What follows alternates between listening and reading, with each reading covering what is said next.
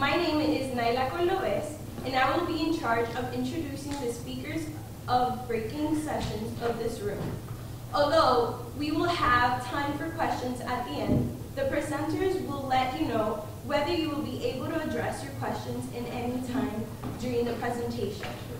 This presentation will be in English. We will appreciate that you change your mobile to vibration or silent mode in order to have your full attention to this session. Finally, please make sure you complete the evaluation form for this session and hand it in before you leave this room. Your feedback and recommendations are very welcome to HETS. Now, we are ready to start. The title of this presentation is What Can a Culture of Hispanic STEM Success Look Like? Please welcome Dr. Mary Jo Parker. Thank you. Well, thank you all for joining me, and uh, it's just a pleasure being able to present uh, kind of a historic look at our, our program, which is an academic uh, unit in the College of Science and Technology at the University of Houston downtown.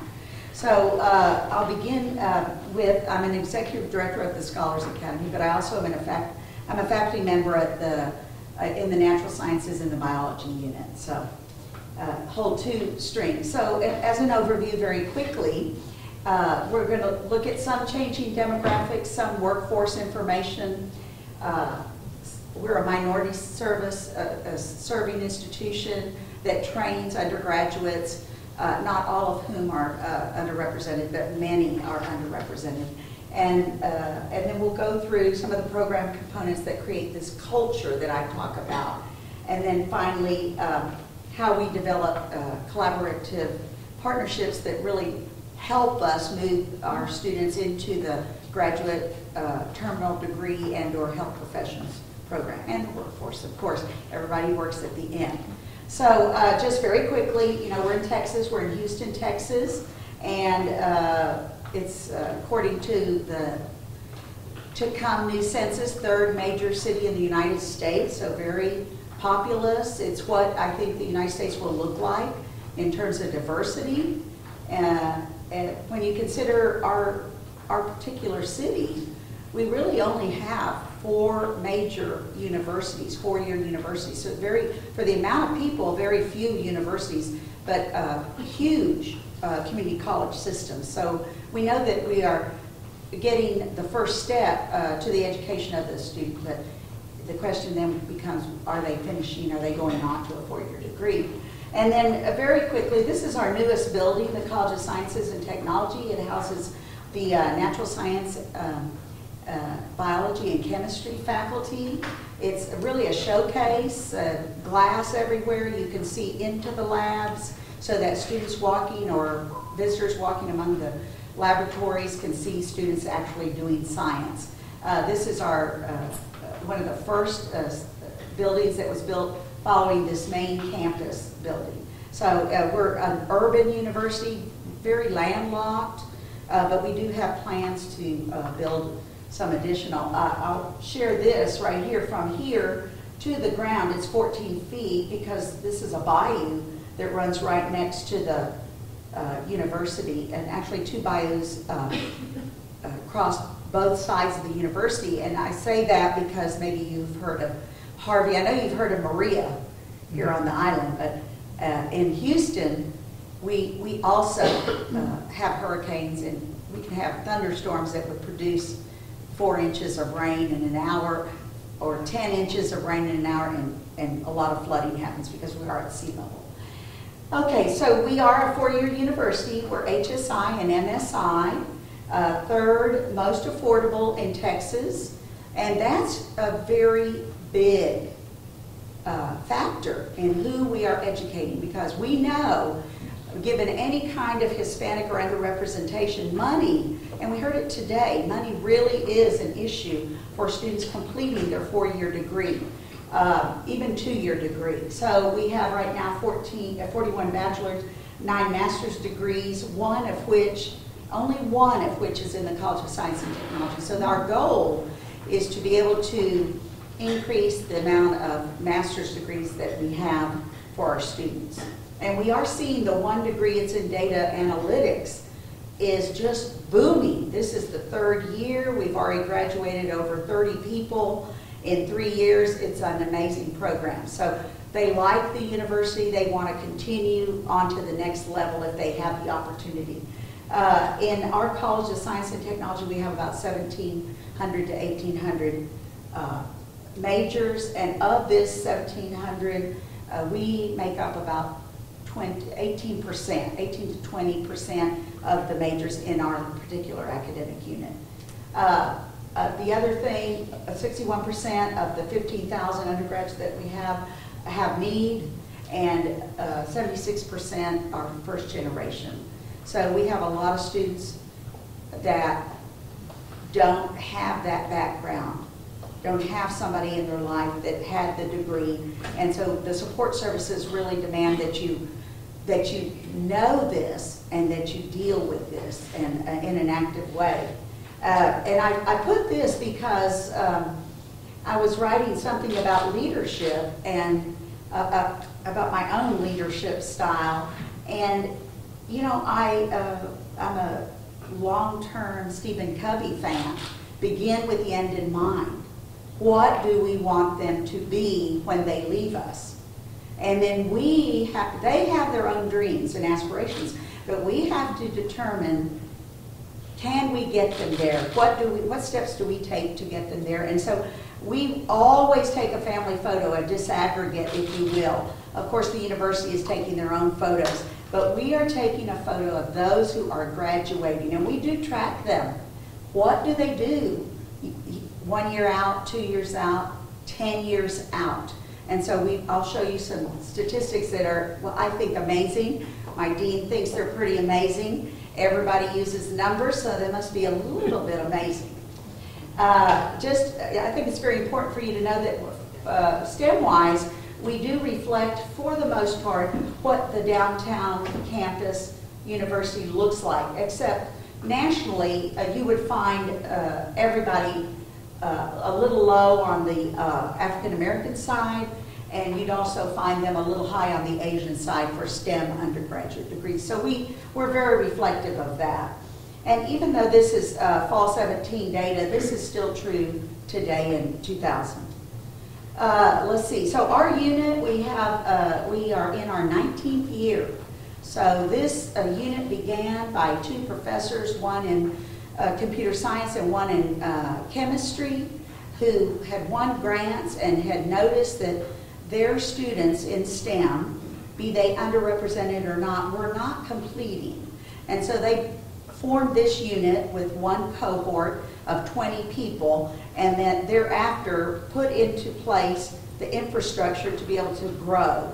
And, and then, you know, when I came along 10 years after, uh, we didn't really have any of the data uh, for whatever reason. They weren't, in, they, weren't, they weren't collecting or writing about the data. So my, as I saw it, my job was to get out there, put the data get together and let people know how well we're doing and where we are baseline and how we're moving forward. Um, our six-year, uh, our students get uh, anywhere from 1,500 to 3,000 per year. Considering that we are the third lowest tuition, this is very helpful. It pays almost 60%, if not more. Now, they're not, this isn't the only scholarship they get. Uh, the university gives out a lot of money, and then they have their financial need if they're eligible for that. Uh, disaggregate, 69% uh, graduation rate, and that looks at uh, FTIC, first time in college. In Texas, that is the scorecard. So you look at freshmen, first time to come to college, not only do they enter, do they complete, and then that's where the money award comes in. Uh, we have a 74% graduation rate when you consider all of the transfers. And generally speaking, our four-year, our freshmen, we want to finish in uh, four years, four and a half years, And the transfer, we like them to finish in two to, to three. And the reason for that is they, they spend a lot of time in the, uh, in the community college, which is good, but they're using a lot of their uh, FAFSA, so we need to speed them up as they come to us. Uh, and then finally, a 91% retention rate, and that's a little low, quite honestly, when you think about how many we're graduating. And the reason for that is we don't have a, uh, per se, uh, engineering program. We have engineering technology, and many who come to us transfer out, and so we can't calculate those particular numbers as they come to us. Okay, so the, uh, just to give you an idea of the pathways that we have, uh, we have about 51% acceptance to medical school. Uh, you know, all the biology come in wanting to be doctors. And then we know that not everybody's going to get into medical school, but for every two, we uh, are able to get one in. So that's a fairly good uh, acceptance rate. Most, most uh, universities will not, you know, publish anything like this because it's difficult, right? Uh, 44% go on to graduate schools or professional schools. That would include dentistry and optometry, pharmacy, and I won't name all of them, but to give you an idea, 41%. Uh, now that's freshmen, right? 41% of all freshmen. We calculate of all the graduates that we have over the 18, 19 years, how many have gone on to professional schools? About 41%, almost, almost half. And then finally, uh, this is an important uh, data point because our goal is to support, support students to gain employment. You know, I've heard a lot yesterday about workforce programs, and universities generally don't like to talk about that, but that's what the business that we're in. Train them, uh, give them those higher uh, uh, ed critical thinking skills or 21, 21st century, as they said today in the plenary, and then get them into a job. I mean, the, the, there is a risk going to college that you will pay more than you will earn as you get out. So it's a real balance for many of us. And quite honestly, I don't think that, uh, you know, I could go to Princeton, and what we say to our stu- students is, you know, let, uh, come here, let us pay for your undergrad, and then go on to your dream school and let them pay for you to get your doctorate or whatever else you're going to get. Uh, but we do know that we are uh, getting them into the STEM fields. And for STEM, in the United States, this is very important because we, we know that there's a gap of underrepresented.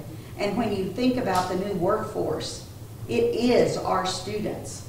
Uh, and so then uh, 52%, when you add these two together, we're coming up with a 91%. All right, so now, uh, just, it's busy, I'm so sorry, it's so busy. This is to be posted, so you don't necessarily have to uh, take a picture or write anything down. But I think it's important that you see some of the uh, referential information that really supports some of the activities that we are putting together to create a culture of STEM excellence. And uh, you, you can look at uh, establishing career topical reviews, very important, we do that. Understanding how research and innovation occurs, we, we know what we're doing in that. Mentored research in the STEM area is a huge motivator and a first step into that research lab at the doctoral or master's level. So very, very important. Uh, teamwork in the workplace, very, very important. We know that the workforce industry uh, representatives are telling us we need more team, so, teamwork, soft skills, being able to communicate, being able to present, and being able to work with others. Uh, peer-led team learning. So we know that this facilitates teamwork, but we also know that peer-led team learning uh, allows students to be, see themselves as leaders, practice leadership skills because they are guiding other people. And so the leadership idea is very, very important for STEM. And, and one, one thing I will say is that even at the undergraduate level, when you think about an engineer who may not go and get a master's degree, they will rise in the company and or wherever they're working because they have those critical thinking skills, those problem-solving skills, the ability to communicate, and they will be seen at, by others as leaders and have to take on those positions, even though they may not want to be a leader. They may just want to be an engineer, whatever that means, right? Uh, solve a problem. But they're going to be seen by others. So it's very important that we guide them in learning leadership. And then we do course reviews and study sessions, very important to get them through. Uh, facilitating skill development, very research skill development, very very important. Uh, if you if you've not seen Lopatto, uh, he has several articles, one 2007, 2009, 2010, and he's done research with uh, looking at REUs or summer undergraduate research experiences and how impactful that is to uh, the young undergraduate's perception of competence and confidence to go on into a graduate program or a professional program. So very important research that, you know, if you haven't looked at it, I will look at it. Uh, looking, we have to know the predominant barriers. First, first, uh, first year courses, of course, and the fact that they don't, they don't have a cohort to uh, tap into they don't have anybody at home that can give them insight into what was it like when you went to college. And so they, you've got to connect them quickly. And uh, many of these uh, particular references will talk about that. And, and, and again, in STEM, because that's my area, STEM is about uh, knowing what it's really like. I mean, I'm a first generation. I went to college. I was, a, I was the second in my family, but first to graduate. And when I want, and I knew I wanted a doctorate, but I had no idea what that was. And even when I went to Baylor University, they didn't really tell us what it was. It's like we were supposed to know. Uh, so what we try to inform that, you know, many love our university because our, our faculty, our PhDs are so nurturing and they want to teach at a university. We happen to be a te teaching university. What they don't know is when you get the PhD, that's about research. It's about contributing to the field, contributing to, you know, teaching is an aside, except at our university, hmm. right? And they don't know this, so you have to inform them of that. And then finally, mentoring. Mentoring so very important, not only from the faculty, but absolutely from their peers. So I'll show you the system that we put together that propagates this culture that I'm talking about. This is our system, and so what we've done is we have broken them into uh, discipline-based groups. We give them a, peer, a faculty mentor and a peer mentor, and then they guide these students, and they meet once a month over the five months of each semester, and with a very pointed agenda. You know, first it's networking, second it's um, uh, getting together to produce a, a uh, service project. You know, this notion of, so we're giving you money and we want you to give back to our community. Get connected to the community that you came from or something similar. And uh, it, has been very uh, productive in terms of what they learn. Now, each uh, faculty mentor produces a field trip. And, and why? Well, we call them broadening experiences because, as I said, all the bio uh, students, majors, they want to be doctors. And we know that that some will become doctors, but many uh, don't even know there's anything other than, a, than uh, medical, right? Uh, they, they don't have that awareness. They know about medicine because they've gone to a doctor in some form or fashion. So this is our structure that, uh, and then these uh, peer mentors you notice we have a senior peer mentor and a peer mentor coordinator. So we train these in leadership. This is another level of leadership. Uh, but I think communication is one of the key factors to creating the culture. So what we offer is a weekly digest where we do compilations of summer internships, of opportunities, of employment, just by putting an announcement for a job, uh, let's say a data analyst, that doesn't have a prereq of being a uh, math major, you know, a lot of people can do data analytics without being a math major. And so just announcing opportunities broadens their perspective. Uh, then uh, we have a Blackboard, a uh, member-only Blackboard organization where we will post certain information that only the members can get to. Uh, that's where they sign up for field trips. So we're giving them, they can post, maybe they want to sell a book. We do it carefully because we have a bookstore. But they can sell to each other if they want. I, we do monitor that so that we don't, we want to know what they're selling, you know? And then uh, we do have Facebook. You know, we used to be very, very big in Facebook, and we're, we're still, we have a presence, but we backed off a little bit.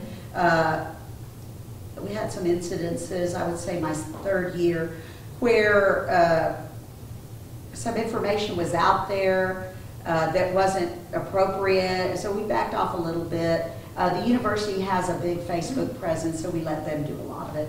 Twitter, we occasionally I will I do have a Twitter. I'll send out some information.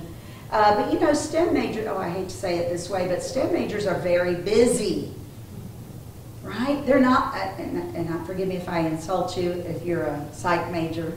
Everybody's busy in college, but some majors have more or less time for more freedom and more things outside of the class. The STEM majors, they're just going to class and labs all the time.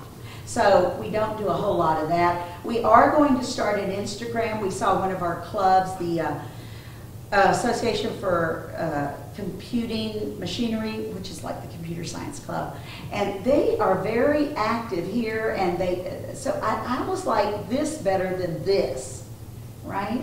Because you can, um, you have a little more control as to who sees it. And then finally, we get all of our organization, about 200 who are on scholarship, together twice a, a year at the uh, orientation session. And then they, they get to see how large an organization we are. And we share with them any changes in the uh, structure or the, I don't say policies, the guidelines that we put in place. Uh, and then finally, we do have open doors. I mean, my door is always open for the most part. If it's closed, it means I'm grant writing, but they can come in at any point in time. So uh, we're like a home base, so to speak. We don't want to be like a home base in high school. We want to be a little bit different. They, and, and they do, you know, I will tell you that this semester I've had uh, one student that just got out of the hospital and he's emailing me in December during the holidays and then coming back saying, I finally got out of the hospital, I finally can pay my bill. Am I still, part? I said, absolutely. And you know, I've had people with cancer, you know, we're not going to throw them out, we're going to keep them in. Uh, we had, we actually developed a new, we do put people on probation, we take money away from them because this, not everybody gets scholarships to take their coursework. And so uh, we, wanted to keep our freshmen with us, and we have a, a level of 2.7 or you're dismissed. And we went down to 2.6 this, this semester because we had five freshmen that are brilliant who didn't get it, but we want to keep them with us. And so we put a, together a, a, a P2, if you will, probationary two. All right, very quickly. So uh, we do have a five-point program, and I won't go through all of it, but uh, part of what works for us is that we, we do in the summers, if you notice right here, we, we, we don't want to lose touch with them. It's important we bring them, bring them into freshmen to make sure they're at the right math level. We don't want you starting at uh, college algebra because already you're behind in your course load. You're going to four and a half to five years, which the state allows, but we don't have that kind of money to support them for five years. So we want them to get on with it. Now, all of our students have to take 12 hours, a full load, so that they can show progress. And then uh, we do have, uh, in July, we bring them back, and we have professors that will open their labs and do certain, uh, with their, with their undergraduate assistants, do certain experiments. So they get a better idea of what is available at UHD. This is always eye-opening. They don't know that we have so many opportunities for them.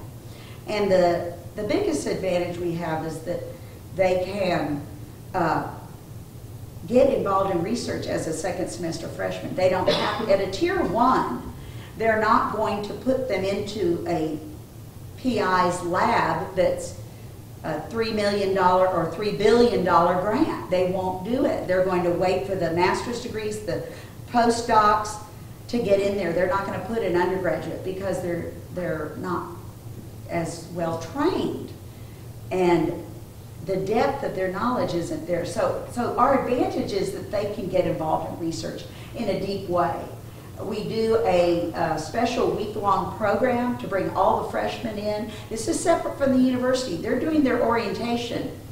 But this is very pointed. So this is, this is the formation of the cohort. And then this cohort will move into this seminar course all together. And quite honestly, I- to me, this is the advantage that we have. We bring in almost 50 every fall, freshmen, which isn't a lot, but these 50 are moving forward, and they're graduating at that uh, 44% rate, and actually it's a little bit higher now. I'll give you those numbers in a little bit. So we get to have our own seminar, which is a core course. We do the same thing for the, the transfer students. The transfer students, um, actually, we were doing this transfer seminar well before the university said we need a transfer seminar. And the reason we were doing it is because, uh, think about a transfer. They have at most two years. And they've not done research generally at a community college. And you've got to uh, get them integrated into the research program, or what will they do when they graduate? Now, if they're engineering, they, uh, technology, they know that they're going to go into a job. But for the rest of them, they've got to have some experiences, uh, fall or spring academic semester, so that they can apply to the summer research programs in the single summer that they have. Now, I will say this, if you don't get your students, it's fine to have them on campus doing research. If you don't get them into external experiences, they're really not going to know what it's like. And they will, when they go to the graduate programs, they will have a difficult time of adjustment because the, the tier ones that have the programs or the medical schools that have the program, you know, they are at a higher level. They, they want excellence and good, good work ethic. So for us, we have almost 80 per summer that are going to external programs. And we have a mandate, this is terrible a requirement, that our students apply to two every semester. They don't have to win them, they just have to apply. Because if you don't apply, you cannot win it. And we have very good GPAs. And then with the academic experiences in research labs that they bring, they're a hop, step, and a foot away from, you know, experiencing what a tier one PhD program would be like. Uh, we've had many that didn't go external, that went to graduate programs, that ended up going, and, and it's fine, maybe it wasn't right for them, but ended up going into the workforce. So you've got to prepare them. And talking about it is just not enough. They've got to experience it for themselves and up their game. And then finally, uh, well, we've already done that. So both seminars introduce research in some form or fashion and, and teamwork. And then I've already said enough about that, right? Well, one other thing. So we do have uh, apply for these national labs and other undergraduate research programs. But mainly, we, we prepare them. In the fall, every fall, they have to produce a personal, uh, personal uh, CV. And then that, they talk with their faculty mentor and they get feedback so that there's four years of improvement. And then in the spring, they do a curriculum vita. Now, why? Because every research program asks for that. And every graduate program or medical school wants that. So we can't leave it to chance. They've got to be improving in an ongoing manner. Now, uh, notice we don't put resume up there, but, excuse me, you can uh, take your CV and you can quickly and relatively easily convert that to a, a resume. Uh, and there's so many varieties of resumes because of the given job description that, that that's a little futile. Okay, so again, we do broadening experiences. Now we're very lucky. We're in the fourth largest medical center in the United States. Some say the world. Uh, MD Anderson and the Texas Medical Center, and they because we have a legacy of people going on to graduate or medical degrees, we people know of us. And so they send us or the dean or professors who have worked there and uh, they will send us, we need a person. And then we will send in return uh, people that are ready to graduate, that have experience, and we'll get their credentials and send them forward. And then they go through the interview. We don't, we don't decide who gets it, they decide. Um, so we, we also bring the, uh, the graduate programs to us, and this is nationwide. So we have a graduate school and internship fair. We, if we had a bigger campus, we would host more, but we uh, host well over 60 graduate school internship fair uh, participants free. Somebody uh, the other day said, well, they charge. I would love to charge, but I, I'm going, no, I think I can run my program without charging. So we want them to come, and then they bring their internships, they interview for graduate programs, etc. So we're bringing, when you think about the 76% that are first time, first generation, we can't wait for those students to go out and seek. We have to bring you know, close that gap of opportunity and access by bringing the people to our campus. And so we do that. And then finally, we also have a university-wide um, uh, student research conference. What's very different about this one is that we bring a keynote alumnus that has a terminal degree. And when I first came, our list was somewhat short. And in over the 10 years that I've been there, uh, we now have a list of 20 that I'm going to present next week actually at our meeting and say, okay, who do you want? I just went on Facebook and I saw somebody else just finished her degree. Uh, and I'm going, oh, we need to add her, right? And she's, this story is very exciting. She went to uh, Cal, Cal State Fullerton, no, Irvine is that University of California, UC. Irvine? UC. UC Irvine, thank you. And she's a DACA student, and she's, she's testified before Congress. They took scholarship money away from, or fellowship money away from her there. She's fought that system the whole time, and I just saw where she finished her degree. I mean, it's very exciting. And I, I almost think she is going to be put at the top of that list, you know, isn't that terrible? because this is a fantastic story. The others are good, but this is like she struggled. And we have. But she also wanted to be a doctor, and she finally figured out, I can't do that.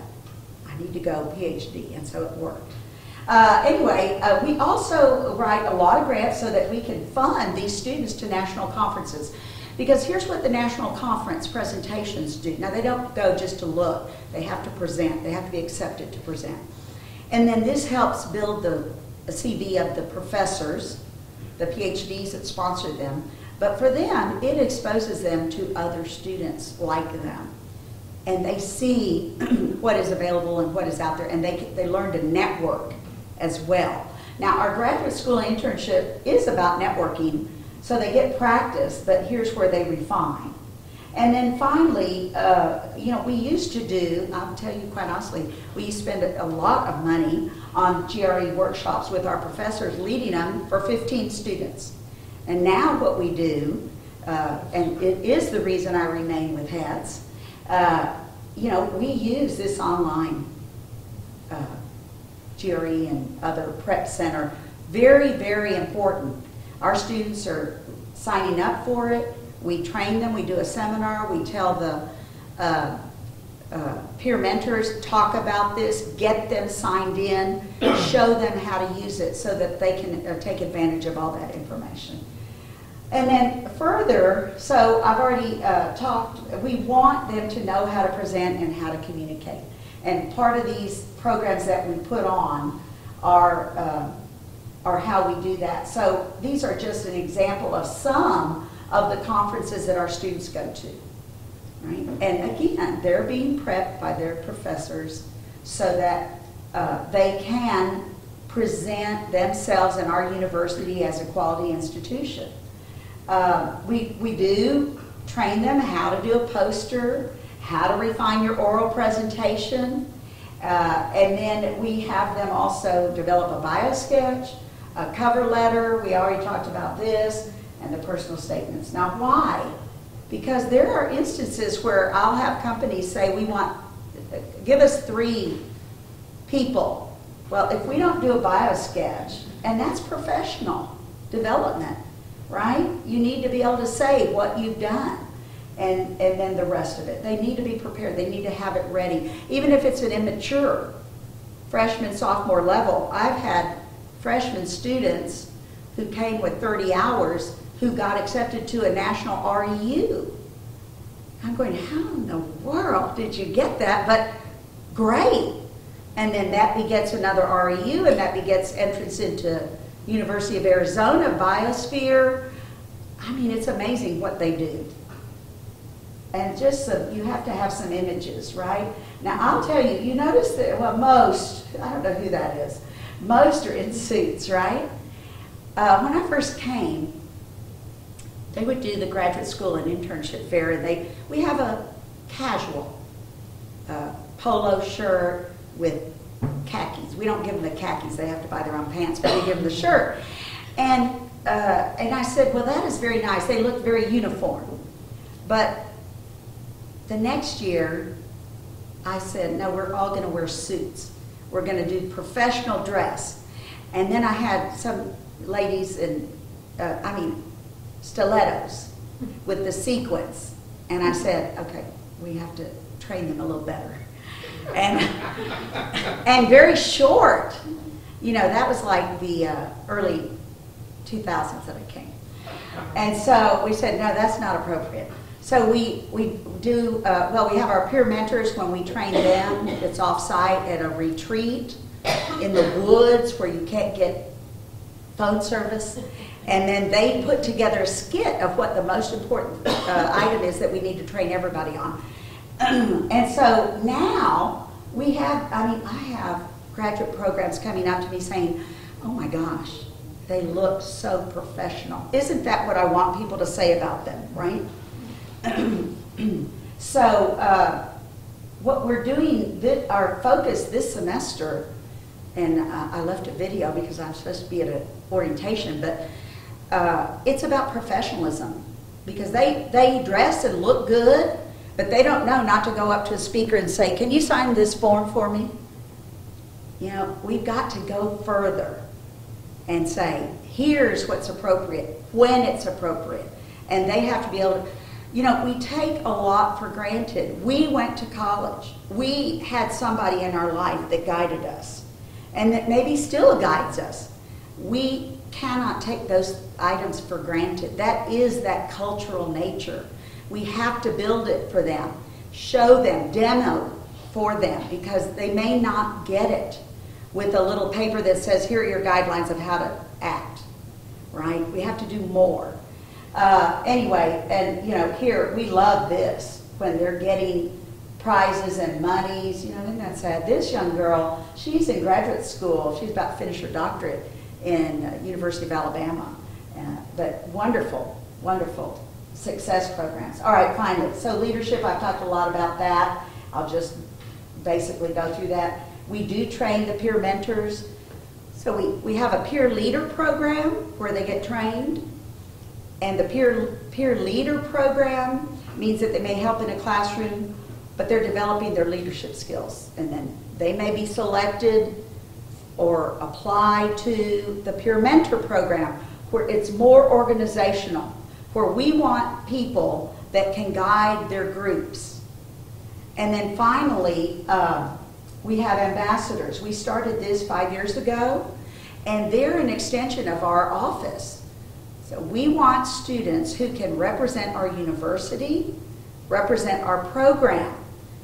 And, you know, they're nearer the age of the recruits, so they're going to be more enthusiastic. Our program helped the university uh, develop their own Gator Guide. And that is uh, essentially an ambassador program where they are sending students out to represent our university. Uh, finally, of course, the small learning communities, you've already seen that, but we do believe in that giving back, that service project. You know, many of our students are very uh, economically disadvantaged. However, when they go back into the community in a STEM-focused manner, whatever it is, I'll give you an example in just a minute, whatever it is they're going to do, they, uh, they see how lucky they are. And they are more appreciative, right? And they, then they also model, because they are very diverse, they model for those younger students, you can do it. Look, I did it. And uh, I, we take uh, post-semester surveys where they give us feedback on these uh, activities, and it's amazing what they integrate into their own being. Uh, one example of a service project, uh, we challenged, um, this was about six years ago, you know, they all want to clean the beach, pick up trash. Well, that's nice, but let's get it STEM related. And so one of our computer science uh, groups, peer groups, they found that one of the, the, Houston Independent School District had three campuses that were building computers. They they'd gotten donations, but they weren't up to date, and so they said they would go and help. And there they were with the young person who was going to get the computer, breaking it down, loading it, put it, building it together, loading the software. I mean, isn't that what CS is about? And you know, I get chills every time I think about it because those groups have continued that service to today. It's amazing, but it's very connected to their STEM career goals.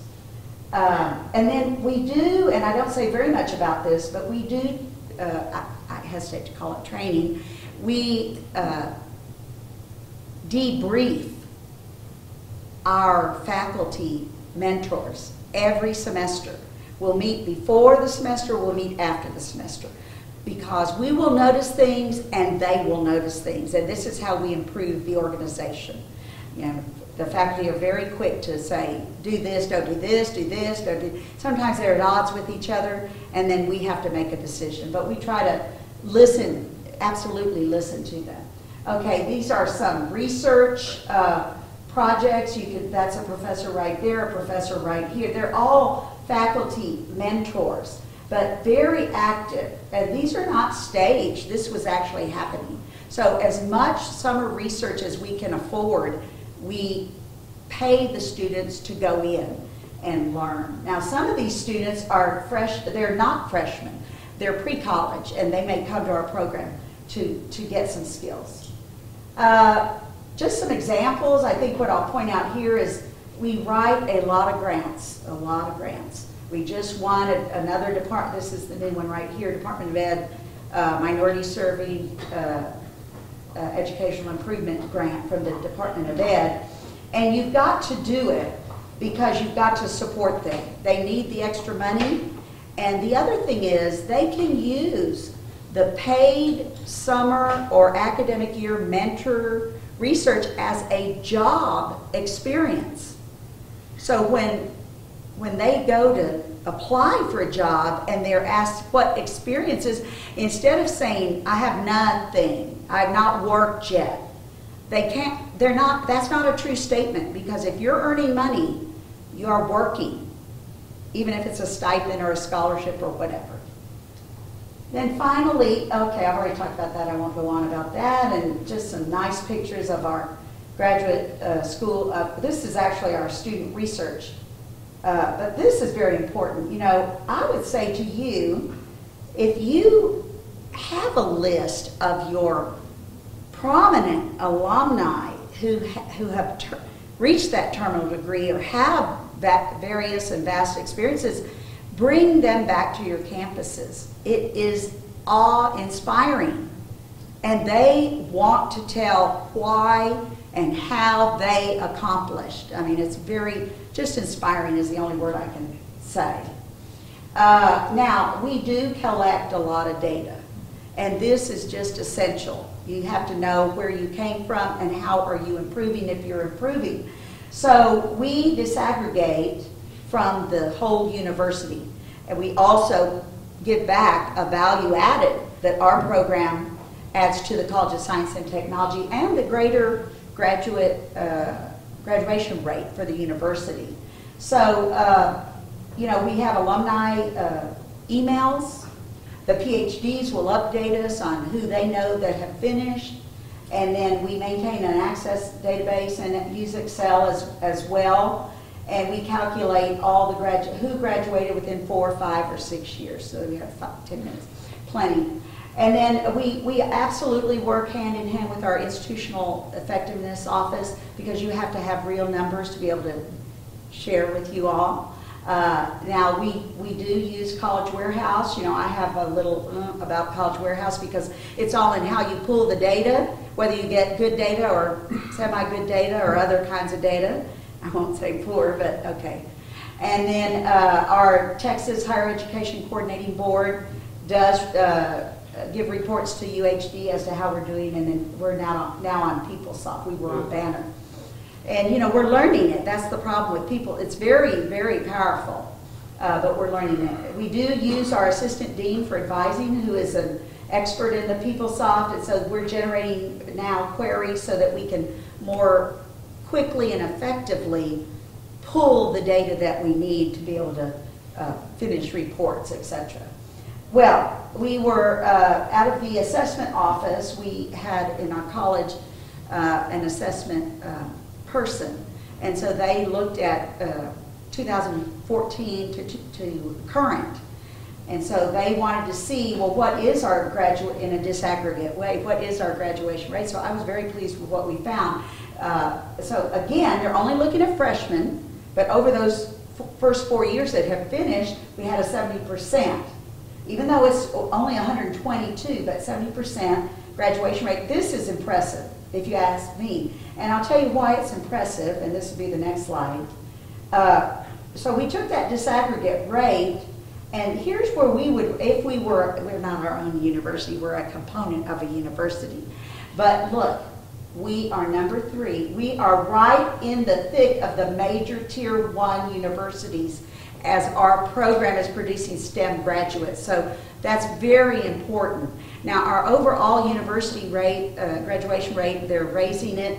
Uh, they're working to raise it right now. It's about 20%. It was much lower when I first came in. So, uh, but we like to, I think this is a, a bragging point, quite honestly. And then finally, uh, just to give you an idea, so when we talked about where we began, uh, one of our first graduates is an MD. This is our most recent graduate, and she was in the first cohort, and it took her a while, 10 years. But uh, she finished her PhD and now is part of the uh, administration of the Hermann Memorial, or Memorial Hermann Health System.